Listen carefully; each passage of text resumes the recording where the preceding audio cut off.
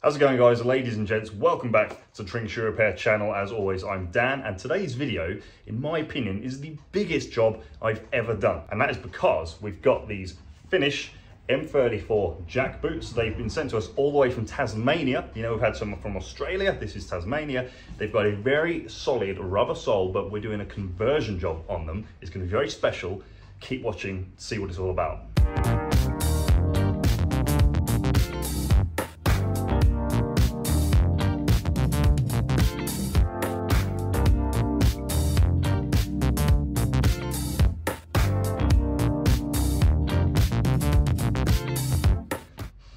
Once again, welcome back guys. Hope you're doing fantastic. So let's talk about the job. These have been sent in by Pat from Tasmania and as he tells me, he is going to be using them for farm work. So at the minute, they are very solid rubber soles. What we're going to do is convert them into leather sole shoes, but with a whole lot of iron work. So doing hobnails, toe plates, horseshoe heels. So they're gonna be a real solid piece of kit when they're done. I don't quite know how much work it's gonna take. We'll have to find out as we take it apart. So let's get started. I will say just before we get stuck in, the last time I had an Australian pair of shoes, you might have seen I dressed up a little bit, made a whole load of Australian jokes. I promise I will make no more Australian jokes in this video.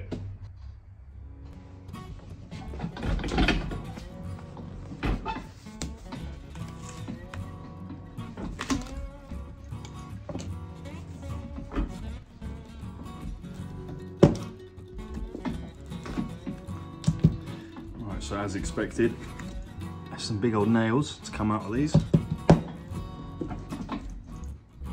I imagine the way we're gonna have to build it back up is by putting a whole bunch of new big old nails in.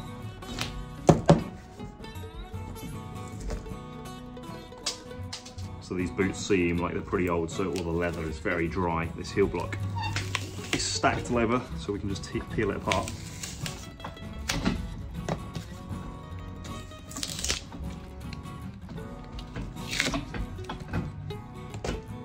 Thing's all just crumbling apart.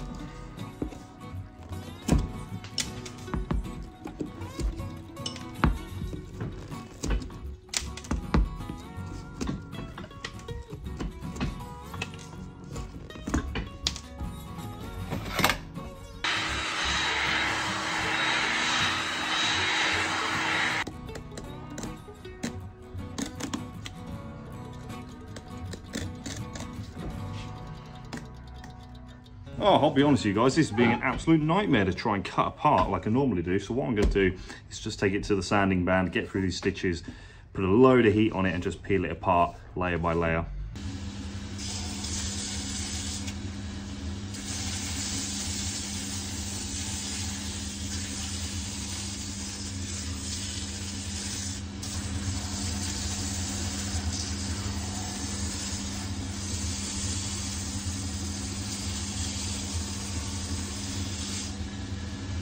All right, so we are through a few layers now to loosen up the rest of this because it's so dry and so stiff. Uh, I'm going to just put some of the jerk off sole stripper on.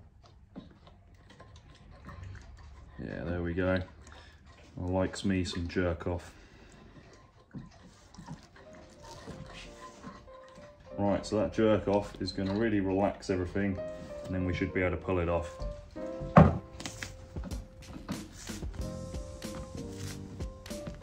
So we've got a top rubber layer and we've got a leather sole underneath. So there we go, there's the bare bones, loads of dust. And I can see this boot has an extremely interesting construction that I'm gonna show you now. So what exactly is interesting about this boot construction? We have got a welt. You guys are all familiar with welts. The new sole is getting stitched onto the welt and the welt is sewn onto the uppers. It's all falling apart and if I can show you, pull this welt away, so it's all just falling off, we also have some upper. So what's happening is the upper's coming down and it's continuing to come out to essentially be part of the welt. That's called a stitch down construction. So the welt you can see is poking out towards the, the sorry, the upper comes down and is poking out towards the edge. The sole is then going to get stitched onto the upper. That's a stitch down construction. This is unusual. I've not seen one before because it's also got a welt. So the welt is sitting on top of that stitch down construction. The new sole is gonna go through everything. So we're gonna stitch through the sole, a midsole I'm gonna put on, the stitch down upper, and then the welt on top. So you can probably guess what's next. This welt is falling apart. I've got to cut the rest of it off, and then we're gonna have to uh, do a re-welt as well. So, you know, I don't really have to cut this welt off. The, uh, the threads are all just rotten, to be honest.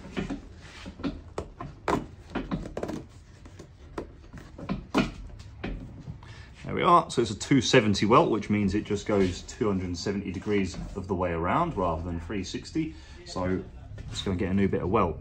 All right, we're at the sink, guys, because I've had my welt soaking in water. So that just softens it up, makes it easier to stitch. What we've got is a storm welt. So it's got that little lip there. That's just going to suit the style of the boot a little bit better. But before we get it on, there's to be some gluing involved on the boot and it's filthy where we're going to have to put the welt on. So I can tell you, once we've stitched the welt on, the stitch down is then going to be glued to the underside of the welt. So I need to clean it.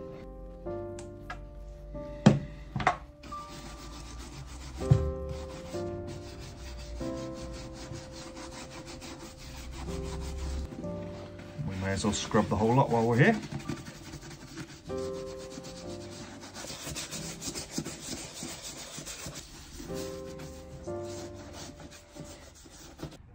Boot's nice and dry, and before we start our re-welt, you're gonna need a few things. Black thread, sewing awl, a knife, pot of glue, and a can of Coke.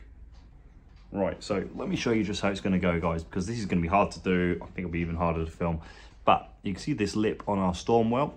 So that's going to butt just right up against the upper. Okay, like that.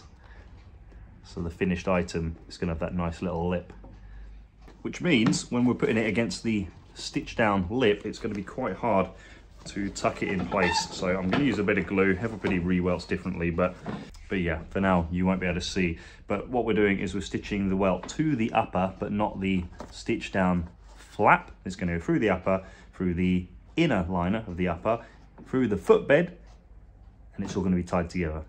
And then once it's all stitched on, we can glue this stitch down onto the bottom side of the welt. Did you guys notice how I didn't say let's get sticky? That's because I'm not very excited about this because I know this job's gonna suck. So we'll just get him in there nice and snug. That lip up against the upper. We also got to make sure that this welt isn't to be in the way of the stitch down folding down nice and flat once we're ready to glue it on like that. Now this is going to be a bit of a cheeky monkey and take a while, so I'm going to time myself. It is 2.30 on Sunday. See how long it takes to do both shoes.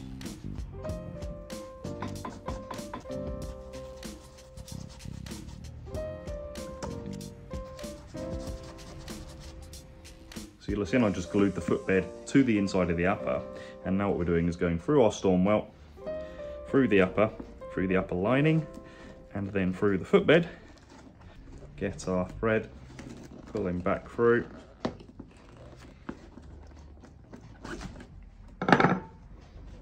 Make our knot, tie it all up.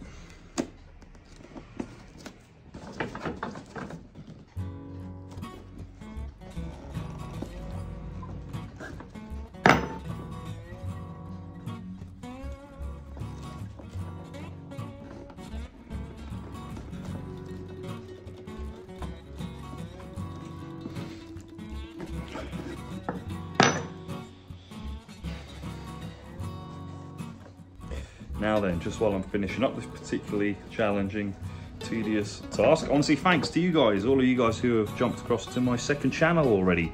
Loads of you, it's almost, I know, that's 2,500 or so whilst I'm filming this. So thank you very much. I really do appreciate you guys who support me on my channel or channels. Now, if you haven't had a look, I'll put a link up here. Check out my second channel. It's not for everyone. It's mainly about my daily life, vlogs and stuff, but uh, uh, a load about fitness, bodybuilding and stuff. And I'm soon finding that it's like having two kids having two channels. you know, I'm always thinking of ideas for new videos. And now we've got two different channels, two different themes, two different topics, two different styles of videos. It's, uh, you know, it's a lot for my little brain to handle. But I am excited and I've got lots of videos planned. Okay, okay, that is the final stitch in the first boot. And it is 3.30. So it took me an hour. Now I've got to do the other one. But for now, let's glue this stitch down flap onto the welt. So I'm just gonna get glue in there.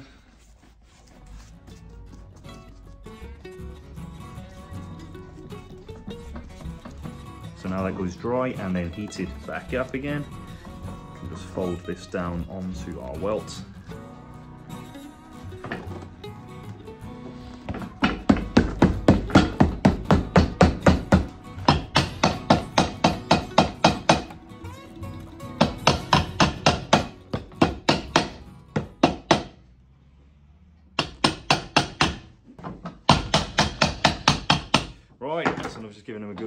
Can see the finished product.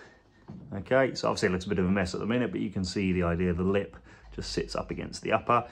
We'll get a bit of grease in there, some polish, and that's gonna look nice once it's all stitched together. Okay, so that's all the welting work done. The keen-eyed of you will notice it's quite thick. New welts come thicker than they need to be, so we've got room to trim it down. So the next thing we need to work on is building the base. We need to make a new leather heel counter cork filler, and then we're gonna double layer it with a midsole and then the leather outsole.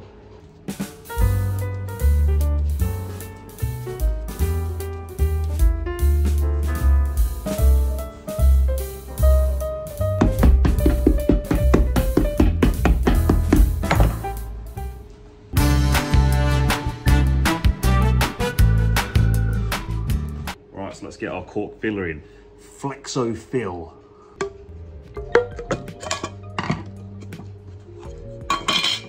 Some people say it looks like crunchy peanut butter. Some people say it looks like oats. I can tell you, it smells like neither.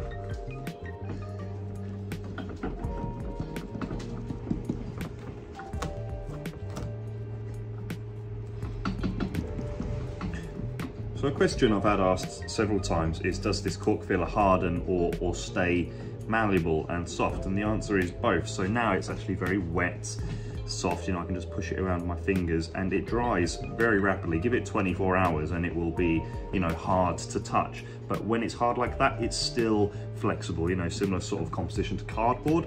So um, it will still press down and mold to the shape of your feet, but it will be more rigid than it is now in its liquid form.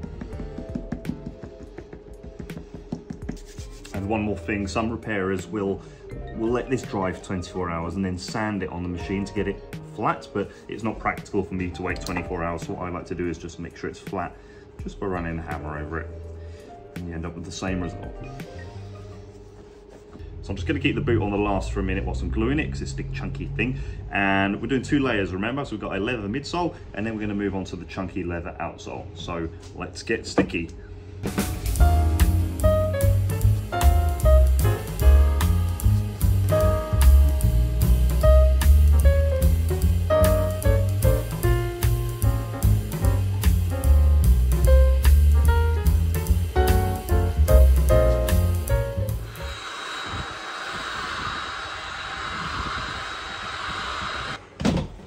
Day of heat gun today.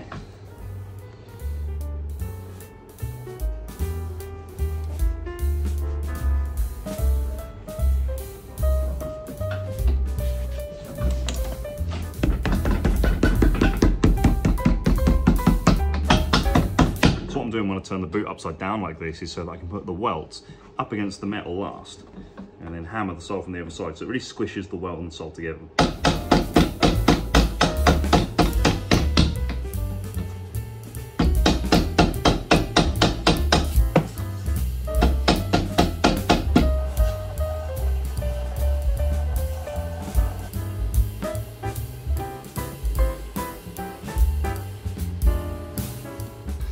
Got our midsole on and I've trimmed the welt down so it's a little thinner so it's the right shape.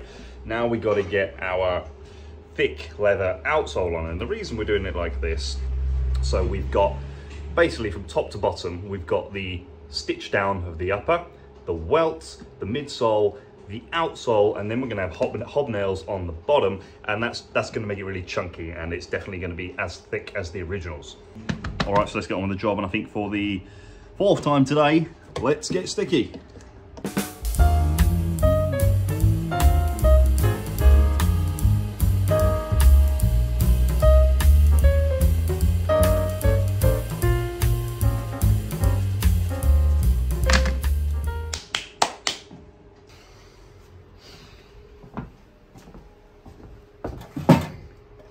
into the cheese toasty oven.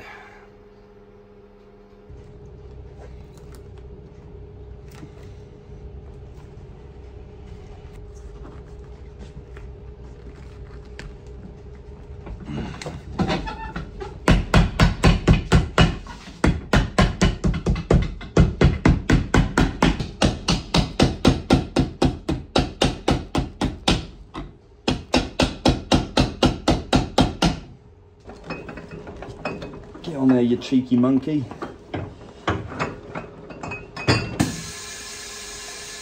Oh yes, there's the Batman cup.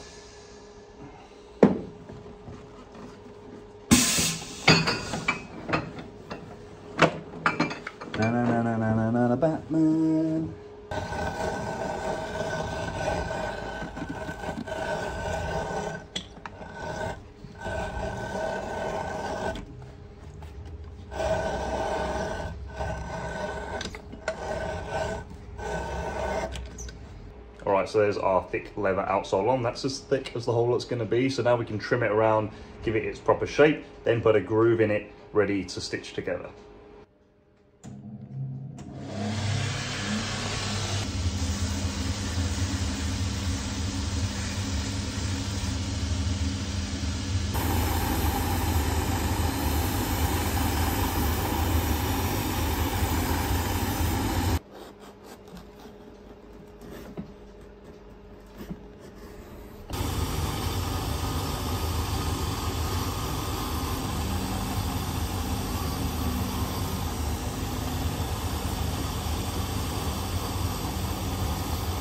All right, next on the agenda, we're gonna secure the heel section of the sole. So we're just gonna get some last tacks here.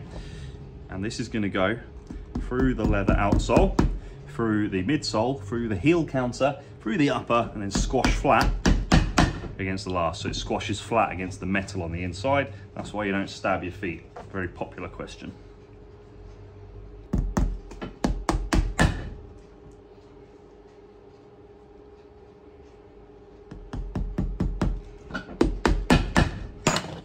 Don't let the sun go down.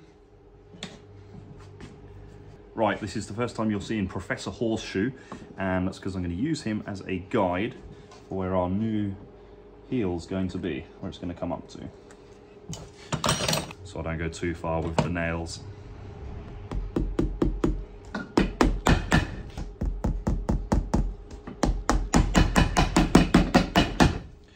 Don't let the sun go down. So next on the agenda, I'm just going to add a bit of colour to our soles, not just for decoration, but I'm thinking of Pat because, as I say, he's down there in Tasmania, and I know, I know there's snakes down there, so I figure if I make Pat's soles black, it might disguise him and they won't see him.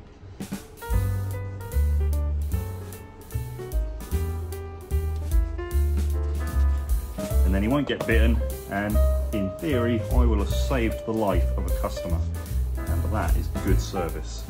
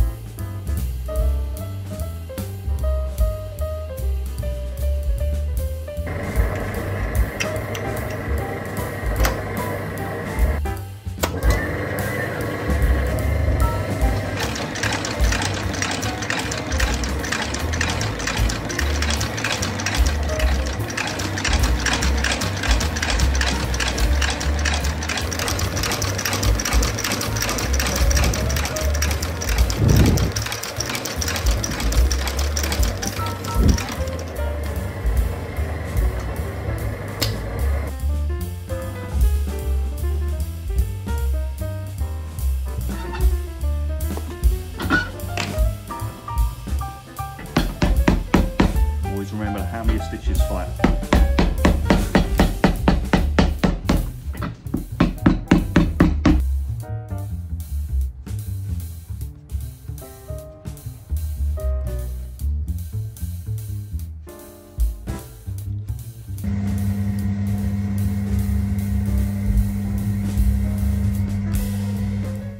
All right, so there's the sole portion of the job done. It's all stitched on finished around the edge there and you can see the nice storm welts coming together quite nicely.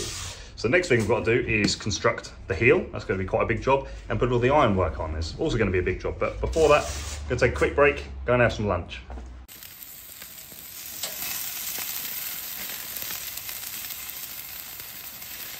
All right, we're back. That was delicious. So like I said, next on the agenda is our ironwork. So we've got our iron toe plates, our treble stud hobs, and of course the horseshoes to go at the back. We're gonna put that aside, do it when we get to the heels.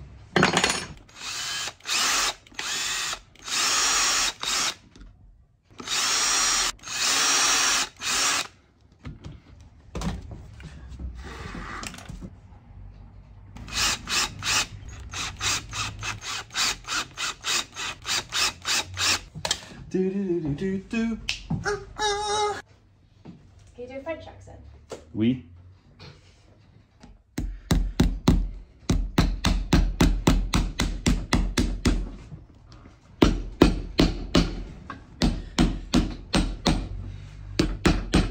Right, so as we're putting these hobnails in, of course we're spacing them out and putting them in a particular pattern. When we normally do these for the RAF, there is a official pattern that we do them in, but of course this is just a custom job.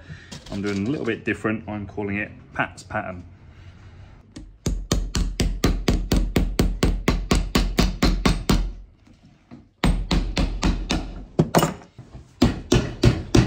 You know, this is actually a really tough work. I think I need a bit of elbow grease. Annabelle, could you grab the elbow grease for me, please? Sure.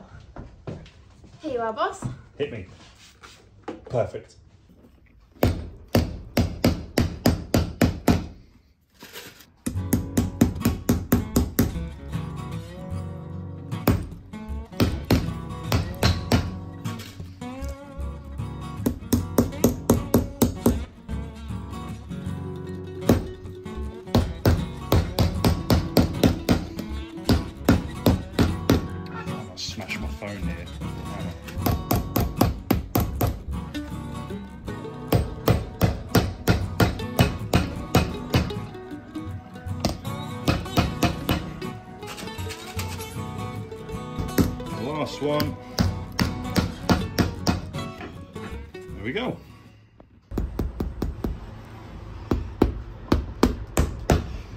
Doing guys is putting some waste taxing, so I think it's going to make some pretty cool decoration, but also it's going to hold everything together.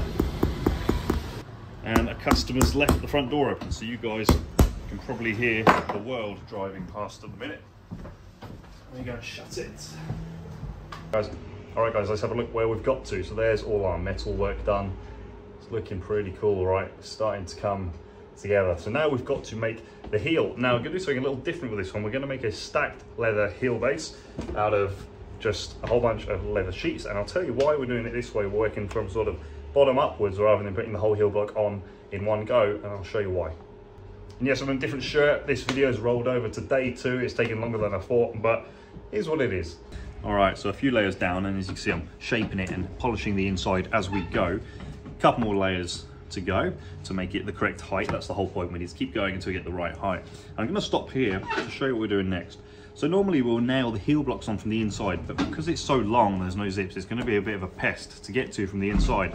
So we're gonna do it from the bottom, the bottom inwards. So we've got some long buttress nails that are gonna go all the way through, you know, at, at this level before we built it up too much, all the way through, um, through the heel counter, through the uppers, and again, bend over on the last. And you will also remember the first lot of nails I put in halfway round. That's so we've got room to put these nails in a little closer to the edge. And then we've got some more nails I'll show you in a bit that are gonna be on the edge.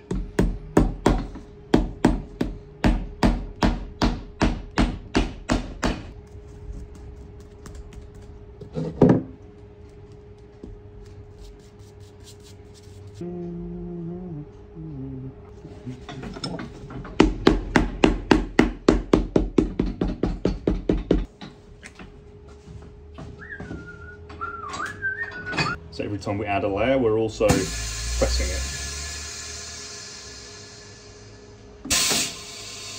How are you guys doing over there? I'll put you there so I can talk to you about the pitch. So once we've got to a certain height on this heel block, if we put it on top of the final layer, which is going to be the horseshoe, we can see it's not level. So if I put it flat on the horseshoe, it's up at the front that's not right. So we've got to make this the correct angle or pitch. So we need to shave away some material at the front to make it level.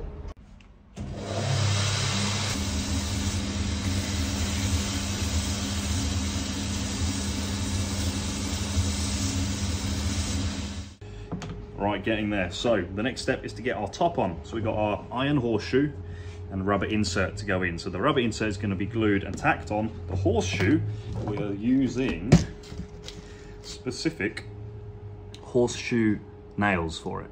So what I like to do is get the rubber insert in place first and then it can act as an anchor for the horseshoe as we're nailing it in because it is quite a, uh, what's the word I'm looking for? Like a heavy duty process nailing these horseshoes on.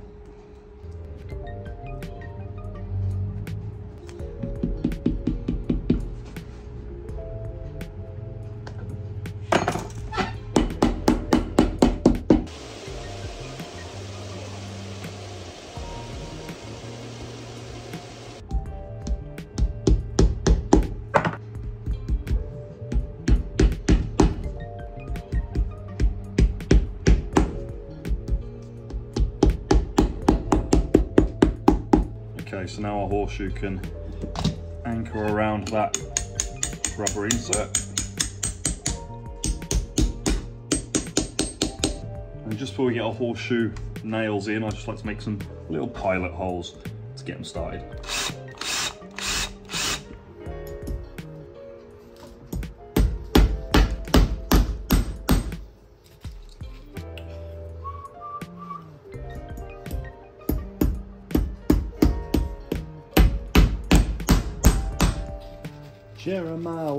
Bullfrog. He was a good friend of mine. I never understood a single word he said, but I helped him drink his wine. Ow! Nails got me. It's a good thing I'm brave.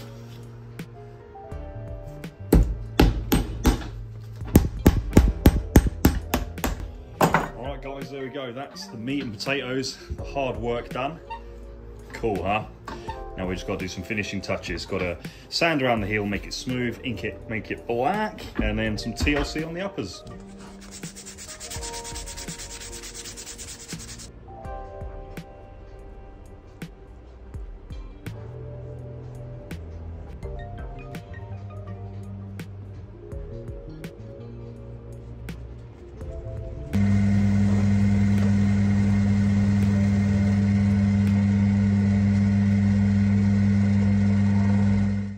Guys, so that is the meat and potatoes of the repair done. We've done loads, haven't we? So we've done, there we can see the new storm welting, okay?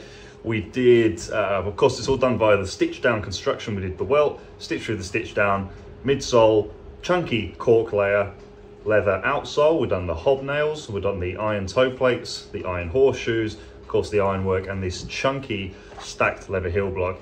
I'm really happy with how this has come out. It's such a solid job. This is going to last forever. But we're not done yet. The uppers are a little tired, a little dull. They need some TLC. So let's take a look at them. Okay, here we are. Here we are for TLC. I've got loads I want to do to these uppers and loads of products. So we've already cleaned the uppers when we washed the welt section. So first thing I want to do is really condition these uppers because it's quite a tough hide and it's a little bit dry. So you listened before, we're using the good old Saphir Renovateur. It's pretty much the gold standard when it comes to a conditioning cream for leathers. It's just like a really good moisturizer and it even smells good. And this stuff it really is just like liquid. You can get it on with your fingers. There we go. So let me just work it all in.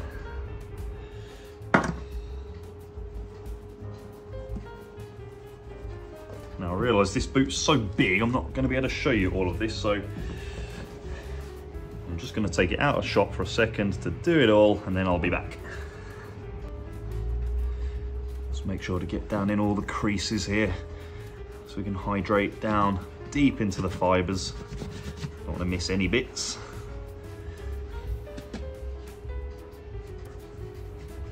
Okay, now one thing I like to do with Renovateur is don't rush it, let it dry, let it soak in. I'm gonna give it a good 10 minutes and I'm gonna come back and put some color into it. All right, so that's the Renovateur dry, and just by hydrating the uppers, it looks as if we put more color back into them because they were so dry. But they're still a little dull, so we're gonna brighten them up a little bit as much as you can brighten up with a black boot. We're using the 1925 Médaille d'Or cream. So this is made of a blend of seven really high quality oils and shea butter. So it's got a lot of pigment in it that's gonna soak into the fibers of the leather and just essentially stain it back to a nice deep shade of black.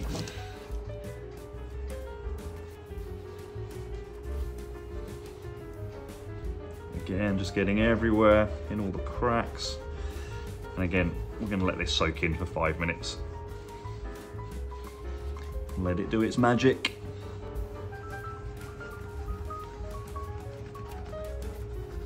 So now the cream's dry, we're just gonna buff off the excess with our horsehair brush should bring up a bit of a shine. So there we go, conditioned and a little bit shiny, but we can get shinier, so I'm gonna put a bit of wax on it. Now when I'm doing a quick shine, what I like to do is use the Saphir Mirror Gloss, but paired up with the Pâte de Luxe. And the reason for this is the Mirror Gloss is a very, it's almost a pure wax, whereas the Pâte de Luxe has more solvents in it. Now what solvents do is melt the wax to help with the polishing process. So if we just pair up the tough Mirror Gloss wax with the Pâte de Luxe, it's gonna work together and we can get a pretty superior fast shine.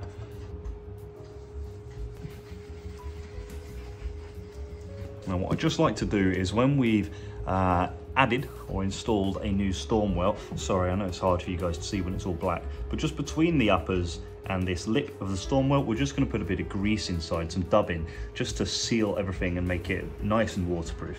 So if you haven't used dubbing before, it's quite wet, so we can just sort of uh, sort of stroke it into place and it's gonna go down the crack where we want it to go. And as with most products, it has a nice shine to it as well. so there we go, job done.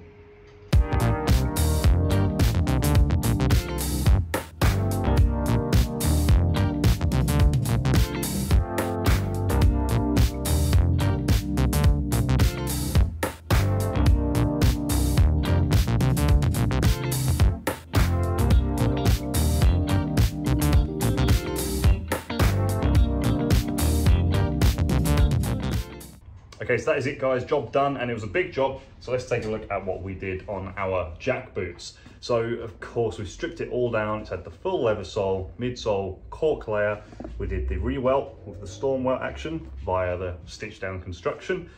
All the ironwork, toe plates, hobnails, last tacks, horseshoe heels, and we rebuilt or rather made the stacked leather heel block and gave them a big tidy up. So this was a huge job and add it all together, it came to 370 pounds. So now all left to do is ship them back to Tasmania, which is not going to be pretty on the wallet either, but the customer, I'm pretty sure, is going to be thrilled to get them back. And I'm very happy with how this job came out also. So that is the end of the video, but just before I leave you guys and do all the end stuff, I want to show you something that just this second came through the door. We've got these tiny, tiny little boots uh, just sent in by Steve from Oak Tree Leather. Nice surprise, thank you Steve. I might try them on. I think it might be a bit of a squeeze. And I'll tell you what I'll do. I'm going to put them in the window with George. And he's all dressed up for Halloween now.